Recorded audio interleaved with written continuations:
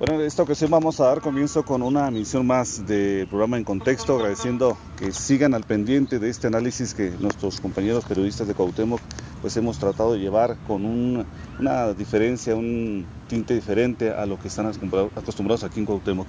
Así que como siempre me da un placer saludar a, mis amigos Jesús Rodríguez, Manuel Salcedo, Ricardo Hernández y Sergio René Pérez Gutiérrez. Vamos a iniciar con una gran cantidad de temas. Eh, se ha dado mucho para llevar a cabo este análisis en contexto, así que damos comienzo de esta forma. Señores, pues muy buenos días y vamos a, darle a esto que, es mole de como luego dicen.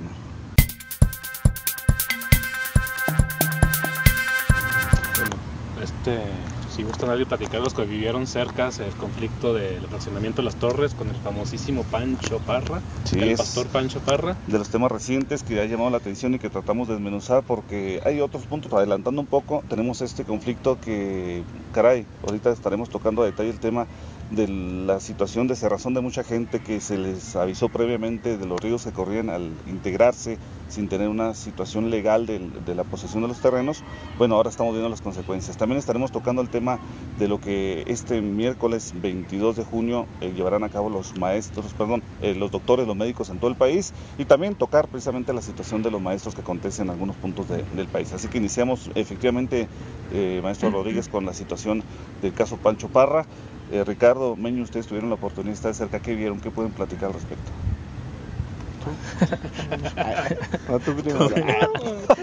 Bueno, al parecer hay temor de tocar a algunos callos, pero pues, la, es que terreno hay unas torres. yo, sé, de dos, tres que sí tienen su terrenito ahí. No, la, verdad es que eh, estuvimos el día de ayer ahí en eh, cuando pues, la maquinaria demolió el templo de, de Pancho, Pancho Parra, templo evangélico. De San Francisco Parra.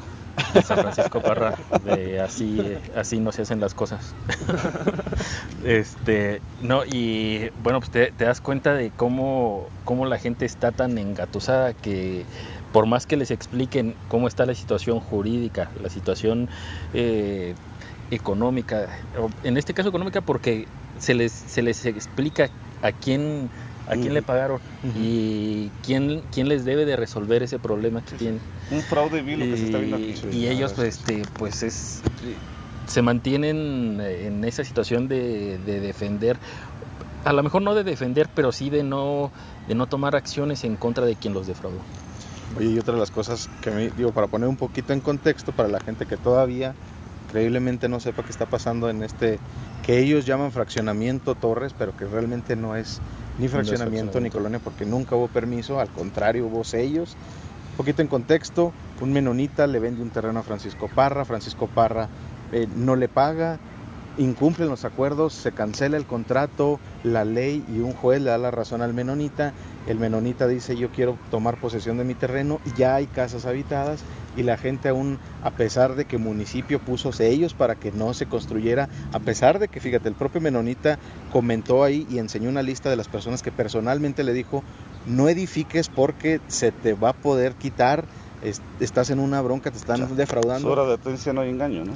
Aún así, a pesar de todo, la gente siguió.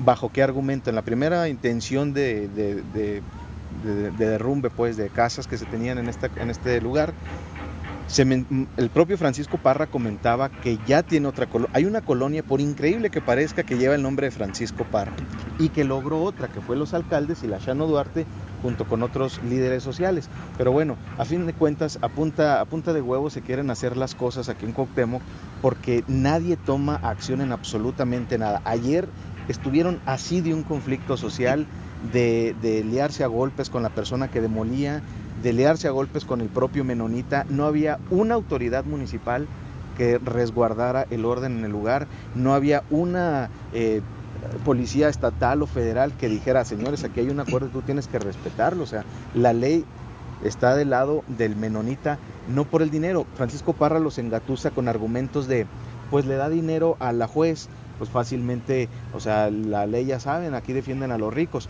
Puede ser que sí, pero en argumentos tan lógicos como este, la verdad es que están muy fuera de razón.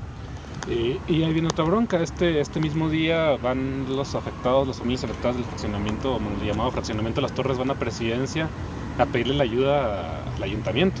Y es una bronca. El ayuntamiento les dijo, no construyan, no se metan, es un fraude. Les puso candados. Les puso candados, les advirtió de mil maneras, eh, este desarrollo urbano, los regidores, dijeron para través de los medios de comunicación, no compren terrenos a raya de cal que no tienen ningún permiso del ayuntamiento. Desde diciembre del 2014. Sí, va a haber bronca y la gente se volvió a atacar. Y ahora el ayuntamiento, con recursos del pueblo, tiene que solucionar ese problema. Y no va a ser la misma que pasa todo el tiempo. Por eso estos pseudo líderes sociales hacen su agosto, porque hacen una broncota, meten al ayuntamiento, el ayuntamiento para no dejar desprotegidas a familias humildes, le mete lana y el luchador social se llena los bolsillos y sigue adelante. Al rato habrá otro fraccionamiento y, se va a chingar a la gente. Queda bien parado. Hay otra amenaza similar. Eh, ustedes recordarán cerca de 15 días, este también pseudo líder eh, apodado el Canelo, que también llegó a exigir terrenos eh, al ayuntamiento diciendo, eh, bueno, siempre han parado con cinco o siete personas que por su ignorancia, y perdón que lo diga, por su ignorancia, siguen a cualquier idiota. Por ignorancia es por necesidad. Por, necesidad, pero, pero tomo la necesidad, no te puedes ser tan ignorante y decir, señores, aquí no pueden construir, no hay la forma de que el ayuntamiento autorice para los servicios públicos, no hay forma de que usted pueda vivir tranquilo aquí. O sea, va una con la otra, ¿no? La ignorancia misma también te lleva a situaciones de, la necesidad, o al revés, la necesidad lleva la, la situación de ignorancia. Pero acá recuerdo a este señor que con llevar a siete, ocho personas ya quiere hacer su voluntad, o sea, como que quiere hacer lo mismo que los allá en el centro, en, el sur del país. Y el señor dice, no, es que ya compramos un terreno en tantos millones de pesos y dices, ah, caray, permíteme, ¿de dónde vas a sacar tú 3 millones de pesos para comprar el cash? Son más, ¿sabes qué quiero? Estos terrenos los voy a comprar y los voy a repartir a la gente más fregada. Pues permíteme, ahí se está viendo el fraude, ¿a qué te dedicas? ¿Qué eres? ¿De dónde sacas el dinero? Entonces es otro conflicto que también se está viendo. Desde el momento en el que te presentas como abogado. Sin ser abogado. Sin ser abogado. Oye, lo atoran en fiscalía y le dicen, usted es abogado, eh, yo tengo mi abogado. ¿Y quién es su abogado? Mi abogado es Dios. O sea, con ese tipo de respuestas creen que se sacan a todo mundo. O sea, lo, increíble es cómo existiendo tanta cosa legal, eh, autoridades que cobran sus salarios, que están ahí todos los días, cómo no es nadie para hacer nada y evitar este tipo de conflictos, porque los únicos afectados son las cerca de 70 familias que ya perdieron su lana, que todavía para que les valúen cuánto les costó edificar y que todavía les regresen eso, va a estar en chino, va a ser un trazo de tiempo muy largo. y a ver quién les va a responder, porque ellos siguen aferrados en defender a San Pancho Parra. ¿Sabes ayer quién ellos, estaba? Pancho Parra. Pancho Parra era el, gran ausente en el, porque se presentó el menonita, se presentó su abogada. Y, pero e, es increíble cómo la reacción de los, de los habitantes de esta zona eh, culpaban al menonita, o sea, culpaban al menonita y al municipio. Era de, es que tú sabías que nos iban a, eh, nos iban a defraudar. Tú sabías que el municipio este, permitió las, las construcciones. Y es que el municipio nos debe de pagar, el menonita nos debe de pagar.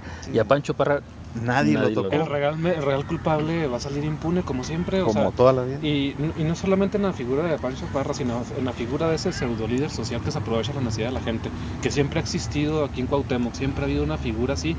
Eh, muchas colonias así se fundaron a el, el 70% de Cuauhtémoc que es, son asentamientos irregulares. Sí, ¿y cuáles son los problemas de eso? Son problemas de que una ciudad tan progresista como Cuauhtémoc con tan alto crecimiento poblacional tenga tan poco pavimento. Sí. Tampoco servicios, que todavía haya colonias eh, completas sin, sin alumbrado, sin drenaje, eh, olvídate el pavimento, que ese era el 70% de la ciudad está en terracería, más o menos. Sí, a unas cuadras del centro. ¿Eso de qué se debe? Se debe a la irregularidad, al fraude, a la, misma, a la corrupción, a la misma incapacidad de las autoridades que dejan que todo pase. Y la permisión de ser una ciudad flotante, de no haber un control también en esto, porque Cuauhtémoc es un punto estratégico para la sierra, para la zona rural, donde están las condiciones cada vez más difíciles y que dicen, pues vamos a lo más cercano, a donde está el desarrollo, viene a Cuauhtémoc y pues aquí los conflictos, ¿no? De, vienen los asentamientos, que por cierto ya se evitaron este tipo, a excepción de esto, de que ahora ya se transformó el hecho de que antes eran paracaidistas y tomaban a, a, sus pistolas, sí, a los terrenos. Tenemos la Lázaro Cárdenas, tenemos la Milano Zapata, tenemos la Benito Juárez, antes Genaro Vázquez, tenemos la Corona Reforma. Ahora pues ya, ya esa situación se transformó en fraude, ahora salen los pseudolíderes. Antes había por la presión, ahora los pseudolíderes como perdón, como se menciona, simple y sencillamente dame el dinero, hacemos la compra, pero nunca aterrizan legalmente la situación. Oye, y, ahora, está la cuestión de la, también de la auditoría.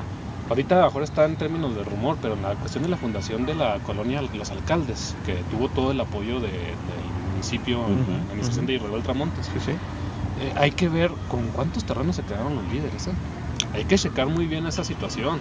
Pues Oye, la- la misma Cha- la misma Chano Duarte. Otra iglesia ahí, ¿no? No sé, pero mira, La, la- a la Chano Duarte también eh, la, la están. Los terrenos los, los distribuyeron y al ratito ya los estuvieron vendiendo. O A particulares.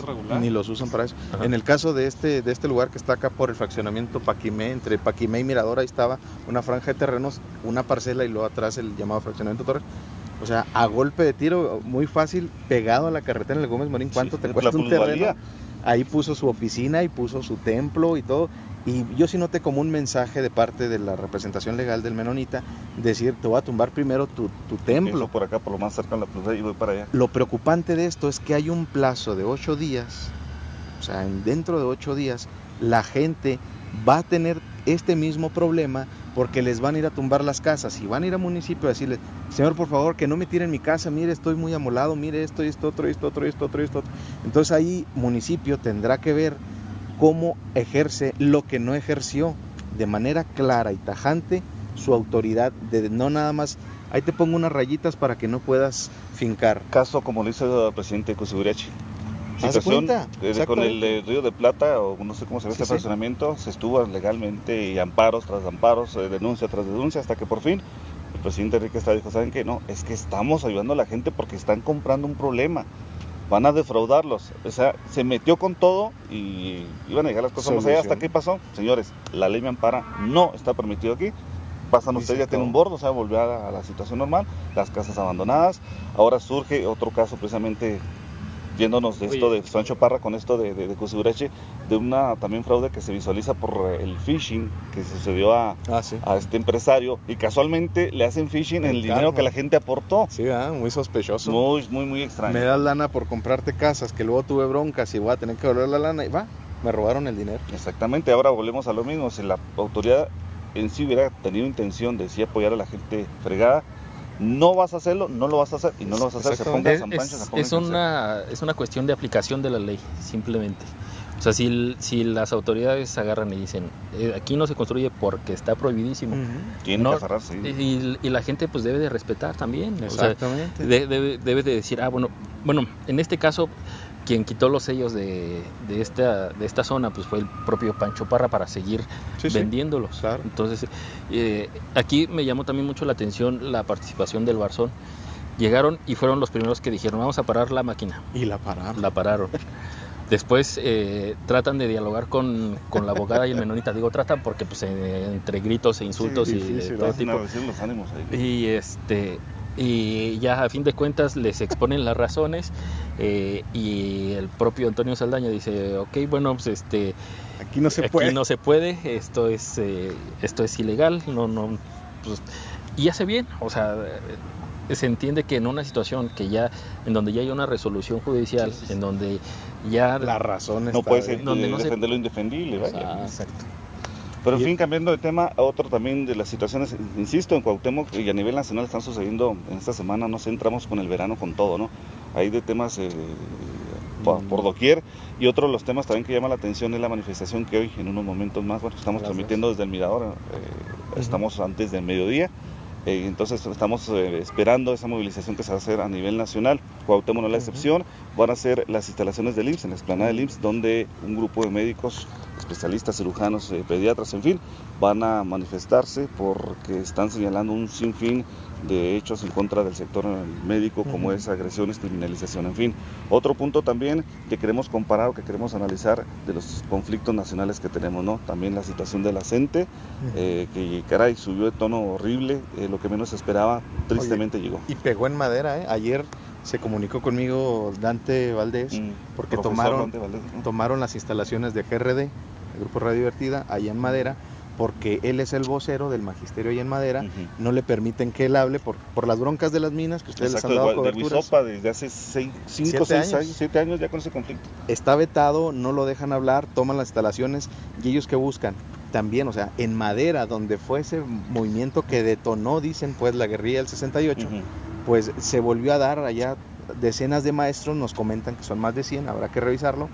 Hoy habrán de tener un paro del, bueno, hoy martes, hoy miércoles, perdón, habrán de tener un paro de las 12 del mediodía a las 4 de la tarde por estos desmanes, eh, conflictos que se han dado en, en Oaxaca y en donde pues ahí ya no sabe uno mucho para dónde hacerse porque nos comentan pues de los seis muertos y de un niño de 12 años que ayer andaba circulando una imagen en internet en donde ese niño de 12 años muerto presuntamente en Oaxaca sale en una imagen dos años antes en un conflicto que se tuvo en Puebla. Sí. Entonces hay mucha, ya no hay mucha desinformación en el tema, pero no nada más del lado de los, De los- maestros, también del lado del medios, gobierno. Lo oficial. Sí, también este están pasando en las redes sociales, que las redes sociales pueden llegar a confundir mucho. Un video de un niño de Oaxaca que dice que así tienen de huevo los niños de Oaxaca que se Ah, están sí, es que viene caminando. Pero ese niño también es el niño de Guerrero de hace un año. ¿Sabes Es el mismo niño. O sea, hay des- desinformación por la izquierda radical, pero también por el gobierno. Cuando sale el comisionado nacional de seguridad decir, no, los federales no traían armas, o sea, casi dice, "Ey, ma- los mandamos encuerados a Sí, que, a, ¿por qué lo que- mandan, a no? que les dieran las manos. Sí. Y yo no he visto ninguna imagen de un civil empuñando un arma. He visto decenas de imágenes, fotos y videos de federales empuñando un arma y disparando. Exacto. ¿Qué es lo preocupante? Yo, yo he entendido el conflicto ma- magisterial de que se da en Guerrero, Oaxaca, Chiapas, de una fracción muy radical del magisterio. Toman carreteras, toman Ujú. refinerías, y sí, sí es muy radical. Alegando algo que aquí mismo los profesores de Cuauhtémoc Con el resiste tuvo en su tiempo. Como el resiste todo su tiempo, pero de una forma muy radical estas son protestas. A mí lo que me preocupa, porque es algo que ya está sucediendo, es de que la única fortaleza del Estado que está conociendo el gobierno de Peña Es la Nieto violencia. Es la fuerza bruta. No, oye, es, Es que la única el- fortaleza Pe- que conoce Peña el- Nieto se ha distinguido por eso, o sea, desde que fue gobernador del Estado de México pasó lo de Atenco. Entonces, co- como que no conoce otra forma de controlar los problemas sociales. No le Oye, falta y es que, política. fíjate, o sea, a, a mí lo que me, lo que la duda que me salta aquí es, bueno, ¿se podrá dialogar con él? O sea, para, otro- es- para mí no hay un punto otra de parte de la negociación, moneda, ¿eh? O sí. sea, para mí este, o sea, muy mal que, que asesinen a personas, muy mal que claro, sea nada lo la guerra, nada lo justifica. Pero también yo veo esto no como una manifestación, yo veo esto como un vandalismo, intento de Eh, eh, revolución, o sea, es que, o sea, sí, sí, sí hay, sí hay, sí hay problemas, o sea, el, esto tiene que ver con la impunidad. O sea, si alguien está atentando contra las reglas, obviamente tú, co- tú Tiene tienes actuar, autoridad. O sea, tu autoridad tienes que actuar para, para poner orden exacto. antes de que te genere un problema más grande. Aquí estamos Pero en un si no es dilema mu- muy grande, Ricardo, porque yo estoy totalmente de acuerdo de que las manifestaciones de los maestros del sur del país rayan mucho, no, no rayan, sobrepasan la legalidad. La ilegalidad este, violan los derechos de terceras personas. Sí, sí, sí. Eso, es, eso es totalmente lógico. Ahora vemos la forma de actuar de los maestros de Chihuahua, por ejemplo, de que también están en contra de la reforma educativa, pero no les Muy quitan, mesurados. muy mesurados, no les quitan clases a los niños, muy ecuánimes, pero ¿qué está pasando? No los pelan. No los pelan. No los pelan. Es que, es que el gobierno muchas veces o está orillando a la gente. Yo me ponía a pensar y dije yo, ah, chinga, que el PRI querrá una revolución con lo que está haciendo. Con lo mismo que pasa en Chihuahua. En Chihuahua la gente contenta por el proceso democrático, los mismos priistas aplaudiendo el proceso democrático. Ayer escuchaba a Alex Levarón diciendo que qué bueno que la gente se Sí. manifestó, diciendo, la gente nos mandó un mensaje, el diputado federal por el PRI, Partido Verde, ya ni sabemos. Este, un mensaje y sale, sale, el- sale el Dowell a, a impugnar y decir, no, ni madre, o sea, nosotros no perdimos. Y que est- va- están empujando a la ciudadanía de Chihuahua a un verano caliente, súmale que no hay gasolina, súmale muchas cosas. O sea, me puse a pensar, el PRI quiere una revolución. Y me puse a pensar más allá con lo de Oaxaca y con lo de Chiapas. A alguien le conviene el caos, no sé a quién, pero está logrando. Está logrando que algo malo suceda en el país. A alguien le conviene. Eh, a los mexicanos no nos conviene que estemos en esta situación, nos conviene unirnos y dialogar, salir adelante juntos, pero a alguien le conviene que estemos en esta situación Sí, tan lamentable. Alguien quiere caos, no sé quién sea, pero lo quiere. Sí, por ejemplo, lo que vemos a niveles, lo que vemos, lo que pasa en el sur, en Chihuahua, pues sí, es bastante desafortunado. Lo primero que te pasa, y también pues vemos algunos medios de comunicación que están totalmente oficializados, están totalmente a lo que diga el gobierno y, Sí, sí. ¿y qué te quedas? ¿Cómo es posible? Lo primero que uno piensa, ¿cómo es posible que un profesor, bueno, no educador, un profesor que va a enseñar, está haciendo este tipo de acciones? ¿Y cuál es el motivo? No, es que no queremos un examen, no queremos evaluación.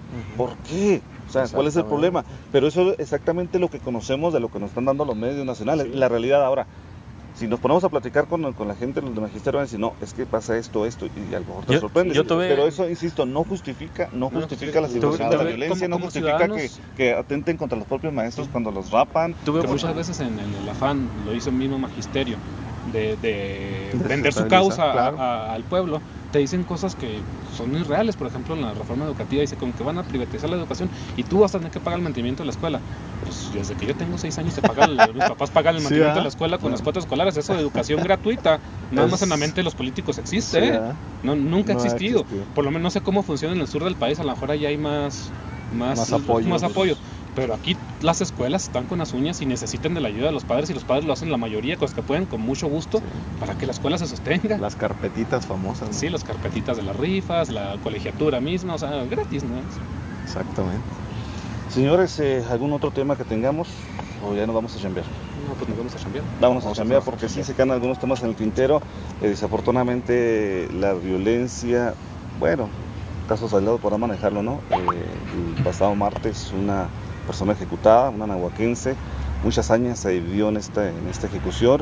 Y queremos tocar también el tema acerca de lo que sigue dando por parte del gobernador del estado César Duarte de seguir con esta, creando esta mala imagen para Cuauhtémoc en el sentido de que si bien no, no son delitos de alto, de alto impacto los que, los que él denuncia, asalto, ¿no? lo que se refiere a los asaltos, algunas cosas que ya se desmintieron, en fin, son situaciones que dejaremos en el tintero para la siguiente emisión de En Contexto, así que esté muy al pendiente y de una forma pues, agradecer los likes que nos han dado las visitas que tienen a nuestras redes sociales de En Contexto y también pues en la página YouTube.